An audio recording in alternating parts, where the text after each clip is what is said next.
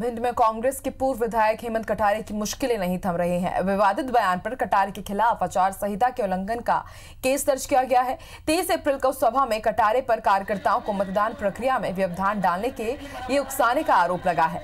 कटारे की भाषण की वीडियो रिकॉर्डिंग सुनने के बाद कलेक्टर के आदेश पर कोतवाली थाना पुलिस को मामला दर्ज करने का आदेश दिया गया है। उसी तरह से एक जाँच एमसीएमसी कमेटी की तरफ़ से जाँच की गई है।